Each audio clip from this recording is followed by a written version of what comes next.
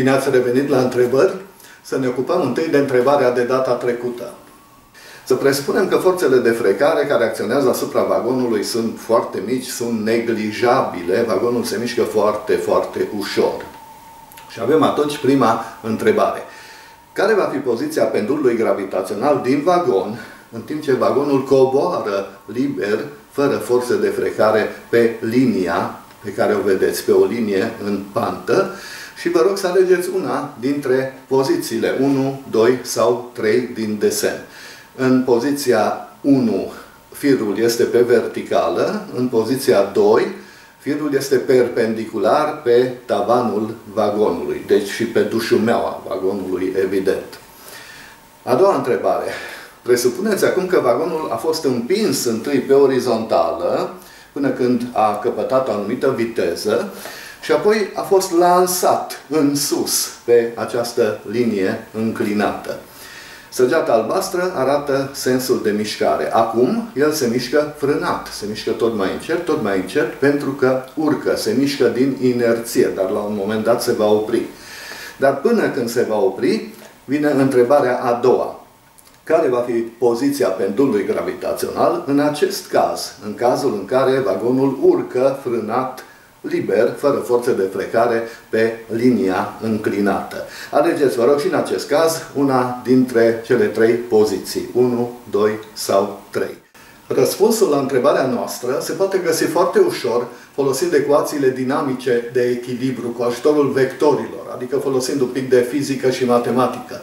Dar așa cum v-am mai spus în această serie, vreau să pun întrebări la care se poate răspunde și fără fizică sau matematică, pentru că aceste întrebări se adresează tuturor, nu doar celor pe care îi pasionează fizica sau matematica.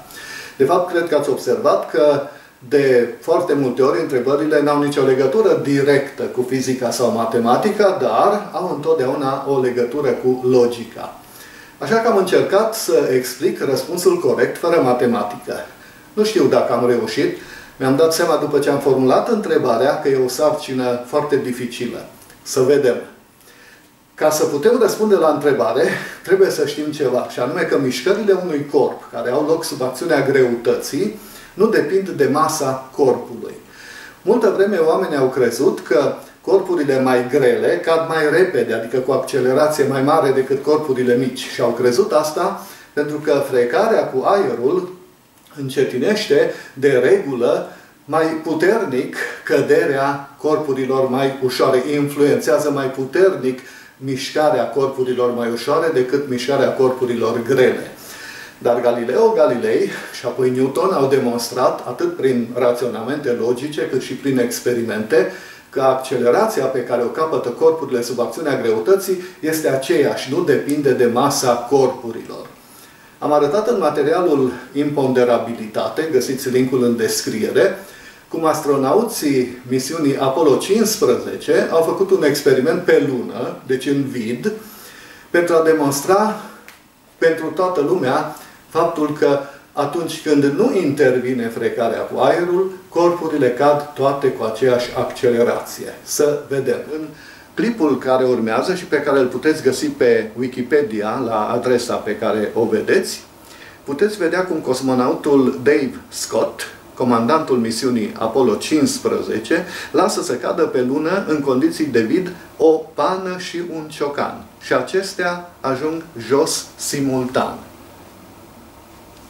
Pentru că neexistând aer, singura forță care acționează asupra acestor corpuri este greutatea și sub acțiunea greutății, corpurile se mișcă la fel, au aceeași accelerație și aceeași traiectorie. Mai trebuie înțeles ceva și anume că nu doar în cădere liberă corpurile se mișcă la fel sub acțiunea greutății, indiferent ce fel de mișcare descriu ele, dacă ea are loc datorită greutății, mișcările vor fi identice, nu vor depinde de masa corpurilor, dacă nu există forțe de frecare. Uneori chiar dacă există forțe de frecare, pentru că și Forțele de frecare sunt unele dintre ele proporționale cu apăsarea dintre corpuri, care la rândul ei, în anumite condiții, poate fi proporțională cu greutatea corpurilor, dar asta e altă problemă. Să presupunem că pe podeaua vagonului nostru, așa cum vedeți în desen, este o bilă în repaus și că vagonul se mișcă orizontal și uniform, cu viteză constantă. Știm cu toții că în acest caz bila va fi în echilibru.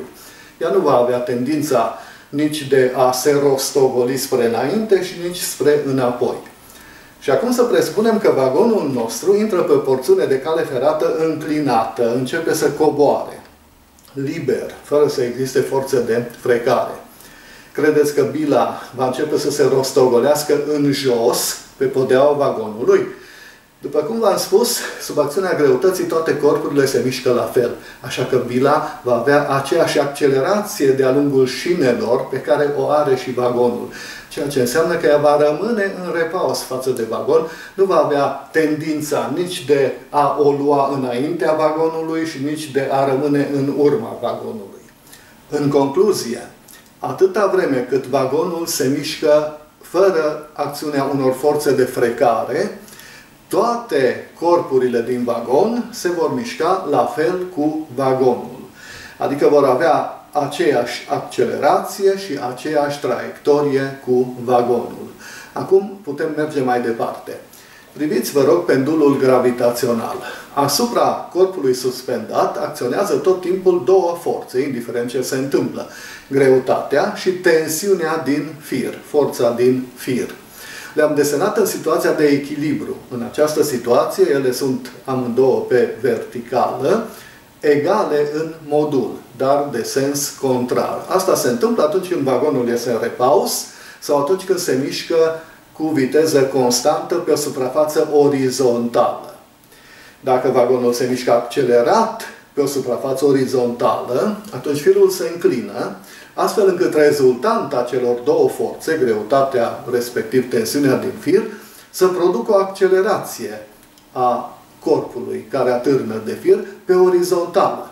Deci prin înclinarea firului față de taban apare o forță care este rezultanta celor două forțe despre care am vorbit, care accelerează corpul, obligându-l să se miște la fel cu vagonul, cu aceeași accelerație.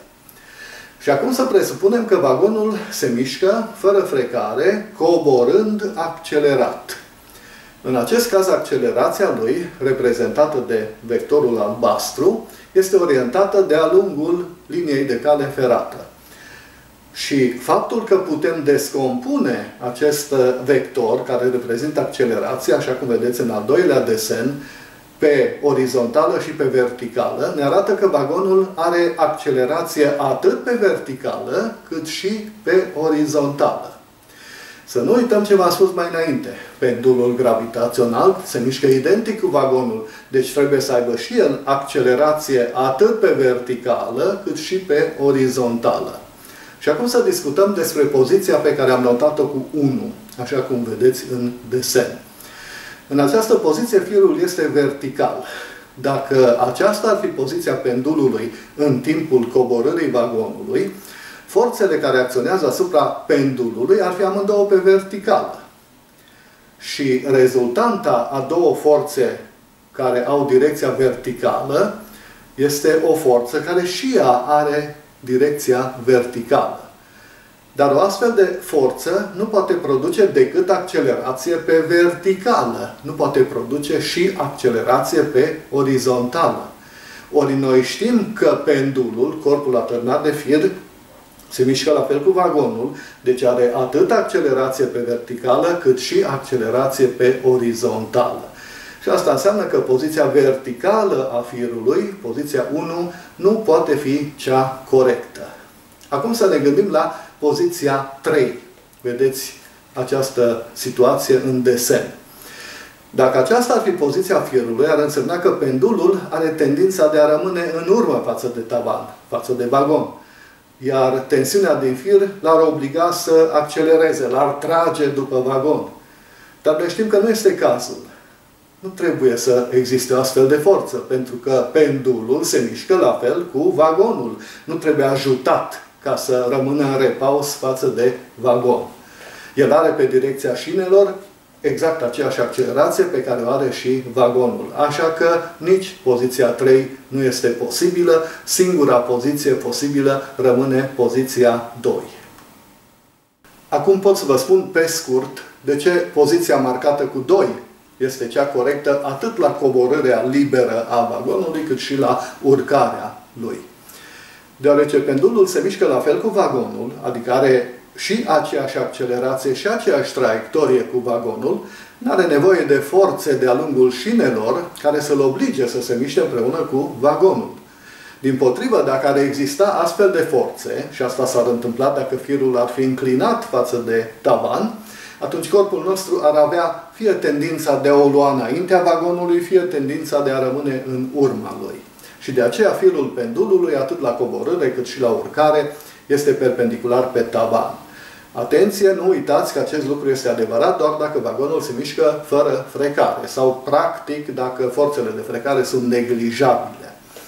În final, vă mai amintiți de bila pusă în repaus pe podeaua ă, vagonului? Ați văzut că ea rămâne în repaus față de vagon și dacă vagonul coboară liber și dacă vagonul urcă liber. Și tot așa, bila atârnată rămâne în repaus față de vagon, indiferent că acesta se mișcă rectiliniu și uniform pe o suprafață orizontală sau coboară liber sau urcă liber.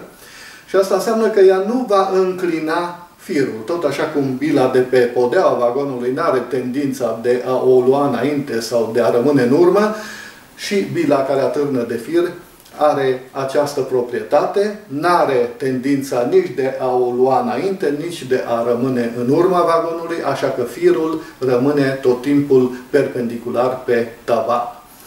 Sper că am reușit să explic și fără ecuații dinamice de echilibru, deci fără matematică și fizică, faptul că răspunsul corect este poziția a doua.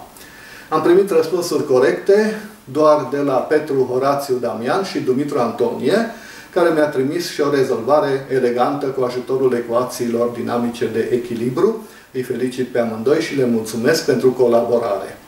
Să vedem întrebarea de azi. Pentru că întrebarea de data trecută a fost destul de grea și a presupus un pic de cunoștințe de fizică, întrebarea de azi va fi foarte ușoară și nu presupune astfel de cunoștințe. De fapt, presupune doar cunoștințe elementare de aritmetică, adică operațiile de adunare și scădere. Și acum, de fapt, v-am dat și o informație care vă poate ajuta să găsiți soluția. Într-o pungă de pânză se găsesc 100 de bile, o pânză opacă, nu vedem bilele din interior. Și împreună cu un prieten vă hotărâți să jucați următorul joc. Veți scoate pe rând bile din pungă, iar cel care scoate ultima bilă câștigă.